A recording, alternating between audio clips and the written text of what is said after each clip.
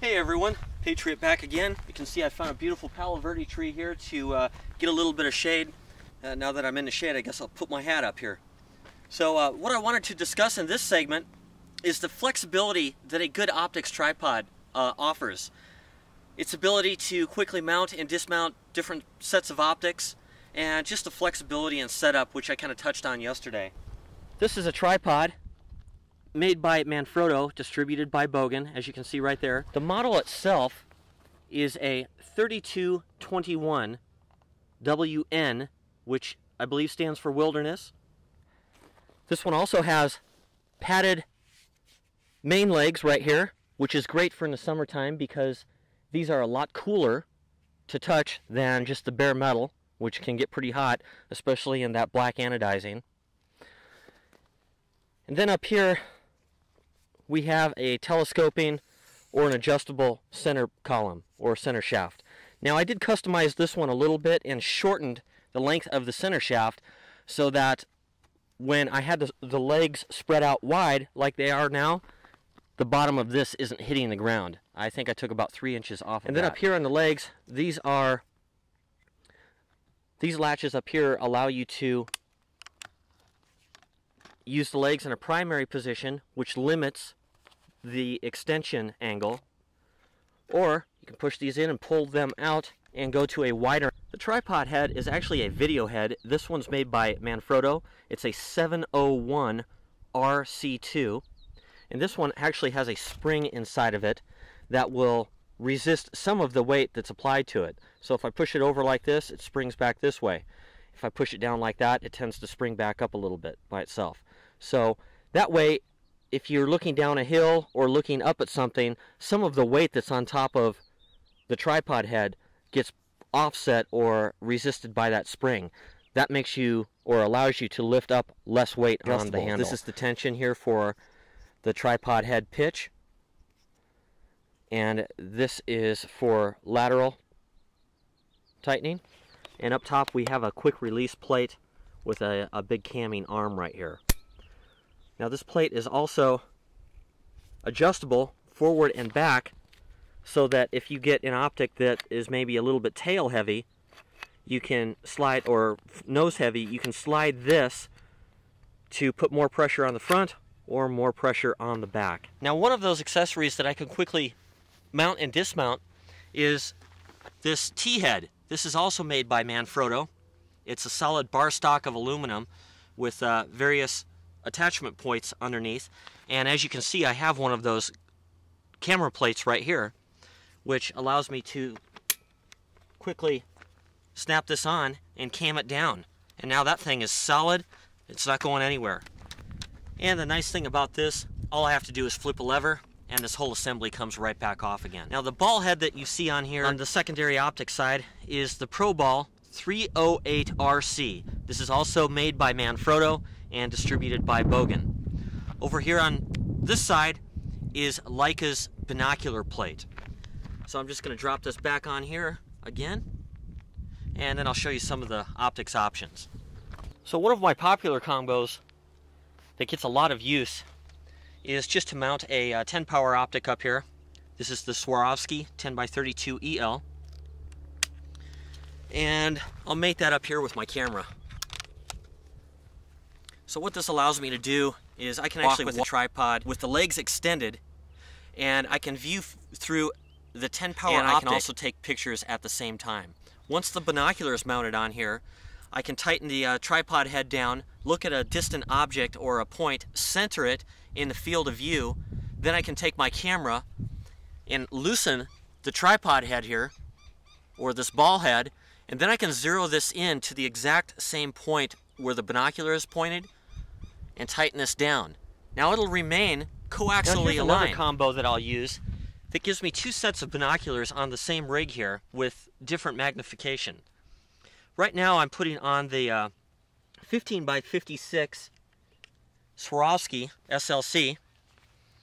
And over on the other side, I'm just going to take my pair of uh, hiking Leicas, lock down this uh, bino mount here, and go ahead and tighten that down. Now I've got an 8 power binocular here and I've got a 15 power right below it. So if I'm doing some wide area searches or trying to really pay attention to movement out in the field, I can sit here and view through the 8 powers.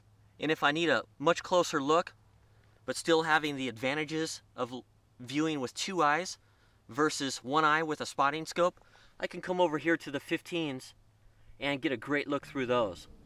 Okay, for the next demo, I'm going to go ahead and leave the uh, Swarovski 15s attached here.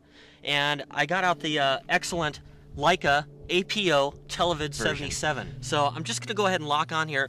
Now this has an adjustable collar here for the uh, mounting plate that allows this to rotate back and forth. And what I've done is offset this so that I can bring, lay this over to the side, bring the pro ball down. That way it puts it closer and lower to the other optic. That way I don't have to stretch way up high and move as so far I'm just back. Lock this in here. Cam this down, flip the safety lock so that this can't come off. Now what I would do is, again, to coaxially align these, I would aim at a distant object with the binocular, and then I would loosen this, bring this over like this, and align this on the same distant object and tighten it down. So here's what that looks like from the other side here.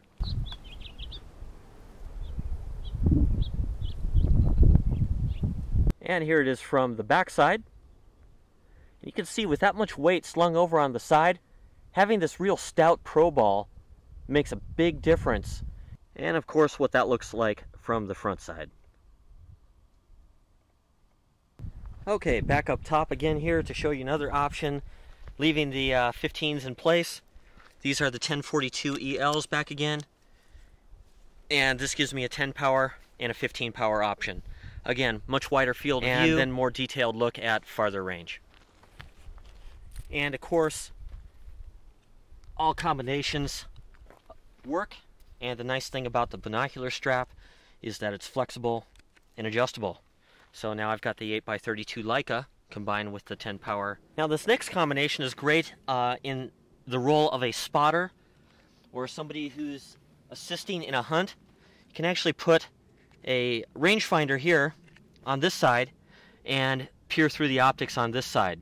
So if you're doing some fast glassing and looking through your binoculars, you can go down here and get instant range, especially after you coaxially align these two. Here's yet another interesting option that offers a lot of nighttime capability. All I have to do is take these binoculars off here, remount those down here. I've got a HID flashlight right here and tighten that back down here. Now this is an 1800 lumen HID flashlight. So that's going to throw a lot of light down range. And with this particular light and the binocular setup, you can see as far out as, oh, about 300 yards pretty clearly. And again, we're not limited to any specific binocular. Uh, we can take this 10 power off and put the 8x32 right back on here. That one's a little slower to adjust. The fastest mount, of course, for the binoculars is the strap right here. Okay guys, we're back to the uh, long range mount again with the 15s and the uh, spotting scope. And just wanted to show you additionally, now remember this camera plate comes off of here. I can throw a lever and this entire assembly comes off.